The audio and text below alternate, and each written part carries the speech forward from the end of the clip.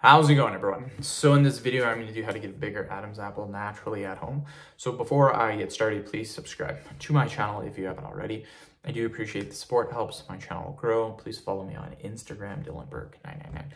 So you guys can see my Adam's apple right here. Even when I'm just talking, you can literally see it. It's very prominent. It's big. You can see it very visible. I'm going to show you guys what you guys can do to get it more visible. And by getting it more visible, it will appear bigger. So for everyone, anyone saying, hey, you can't make it bigger, you can make it appear way bigger.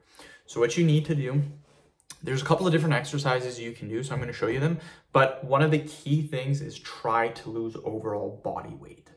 If you're 190 right now, try to get to 180. If you're 180, try to get to 170. If you're 210, try to get to 200. Just try to get to a healthy body weight, and you're to notice everything like your biceps, um, your Adam's apple, everything's to be more defined. So one of the best exercises you can possibly do is an extension exercise with your neck. So you're to go like this, and literally all you're to do is you're to raise your head and feel the stretch.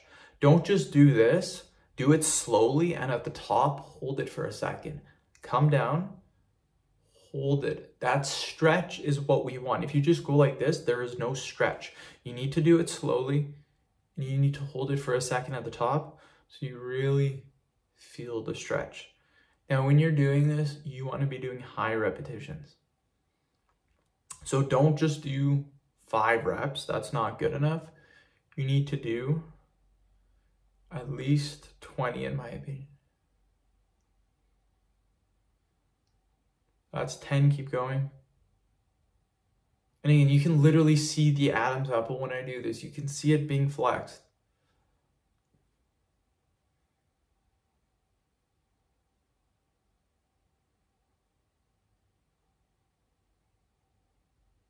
Twenty, perfect. So end the video. Thank you so much for watching. Please subscribe to my channel.